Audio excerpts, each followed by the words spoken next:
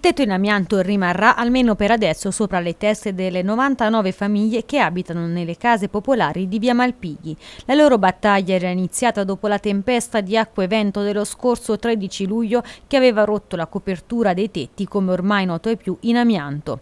La richiesta degli inquilini sostenuti dal comune e dal Sunia era quella di rimuovere completamente l'Eternit e sostituirlo con un altro materiale non pericoloso.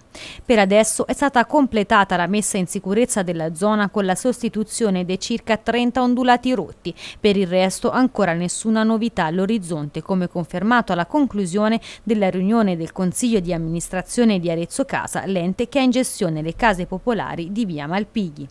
Quando ci saranno le risorse, per noi dire, è il lavoro di Arezzo Casa, cioè quello di fare la manutenzione del, degli alloggi. Quel tetto è un tetto di grandi dimensioni che richiede anche risorse importanti. L'avevamo anche inserito in una richiesta di finanziamento prevista dal piano Casa Nazionale, eh, l'avevamo richiesta tramite la Regione Toscana, l'avevamo fatto in tempi non sospetti perché l'avevamo fatto nel 2015, anche molto prima delle polemiche recentemente sviluppatesi, però non c'è stato il, eh, il riconoscimento delle risorse. C'è chi però ha detto che quelle risorse per la sostituzione del tetto ci sarebbero eh, ha detto una cosa che non è vera. Io non voglio usare un altro termine più spiacevole, ma è una cosa che non è vera. Ecco, c'è molta preoccupazione da parte degli inquilini, da chi risiede in quella zona. Cosa si sente di dire a questi, alla fine, inquilini preoccupati per la situazione dell'Eterni?